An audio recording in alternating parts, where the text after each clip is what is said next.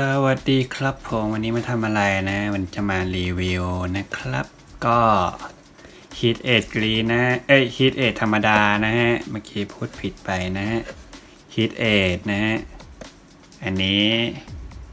อ่าเป็นรถ MA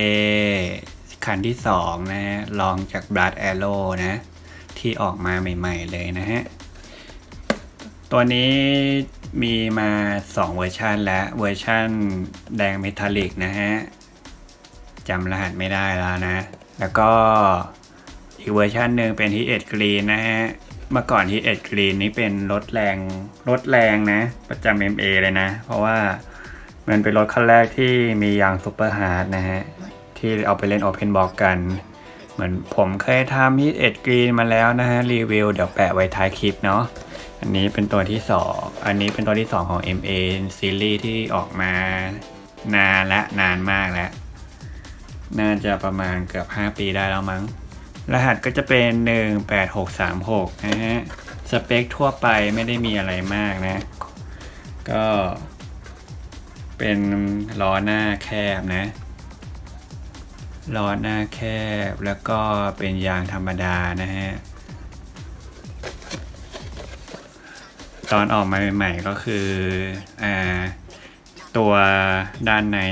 ไอตัวโครงด้านในล้อทุกอย่างด้านในเนี่ยเหมือนของกล่อง Heat 8เลย แต่แค่เปลี่ยน body นะฮะ เอ๊ะเหมือนเป็นกล่องทุกอย่างด้านในเหมือนของ b a r แอโร่หมดเลยนะฮะ แต่แค่เปลี่ยน body นะฮะ อันนี้เป็นรหัส 18636 นะครับ ข้างในก็ตามนี้นะฮะ body แดงนะ แล้วก็ part โครงเป็น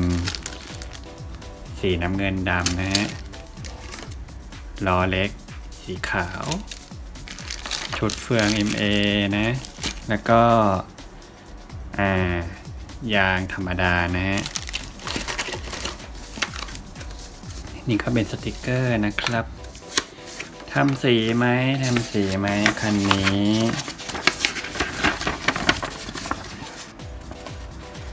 นนี้มีจุดทำสีหยุดจุดก็คือตรงบริเวณด้านนี้นะ สีดำก็ตรงนี้แถบนี้เป็นสีดำนะฮะ แล้วก็ขอบด้านหน้าเป็นสีดำซึ่งโดยรวมแล้วคิดว่าไม่จะไม่ทำละกันแปะสดเลยดีกว่านะฮะ เพราะมันทำนิดเดียวไม่ค่อยเห็นความต่างเท่าไหร่ โอเคครับผมก็สเต็ปเดิมของช่องไวแคทนะฮะ เราจะมาประกอบโครงให้เรียบร้อย แล้วก็ติดสติกเกอร์ body กันนะครับ ไปดูกันเลยดีกว่าเนาะเสร็จแล้วนะฮะ เสร็จแล้วสำหรับการประกอบ MA นะฮะ โครงนี้นะฮะ เอาตรงๆ Heat Edge เหมือน Blast Arrow อะล้อขาว ซี่ แล้วก็ part น้ำเงิน เหมือนกันเด๊ะเลย เปลี่ยนแค่ body นะฮะ รุ่นหนึ่งรุ่นสองง่ายมาก อ่า ผมชอบนะล้อซี่อะมันไม่ต้องมานั่งกะว่าให้มันตรงด้านนะ มันไม่เหมือนล้อพวกก้านที่มันจะต้องตรงด้านจะสวยนะสำหรับคนที่สีเรียสเรื่องความ balance นะฮะ ซ้ายขวาให้เสมอกันนะฮะ วิธีใส่ล้อผมมีนะอยู่ใน playlist ของ Mini Four Wheel Basic ครับ เป็นวิธีใส่ล้อให้มันตรง ฉะนั้นผมจะไม่ทำให้ดู ส่วนการประกอบ MA ก็ ผมก็ทำไว้แล้วก็เลยประกอบให้เรียบร้อยเลย ก็ไปดูใน playlist นะฮะ วิธีประกอบโครง FA นะฮะโอเคต่อมาก็เหลือแค่ติดสติกเกอร์นะฮะ ก็ไม่มีอะไรมากสติกเกอร์กับ body body ก็อย่างที่ผมบอกไปว่า ไม่ทำสีนะก็เพราะว่ามันมีสีดำจุดแค่ตรงเนี้ย คือถ้าไม่ได้ทำก็ไม่ต่างกันมองไม่ค่อยออกนะฮะติดสติกเกอร์ได้เลยนะฮะเดี๋ยวไปดูกันว่าติดสติกเกอร์ออกมาแล้วจะเป็นไงนะครับ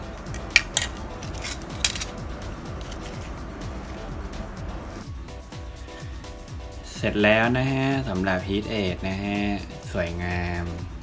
สติกเกอร์แปะง่ายไม่ยุ่งยากทำสีก็น้อยนะฮะ หรือไม่ทำเลยก็สวยนะฮะ อันนี้จริงๆมันควรเป็นสีดำนะ แต่ว่าผมไม่ได้ทาก็ยังสวยนะฮะ โอเคประกอบเข้ากันให้เรียบร้อยนะฮะ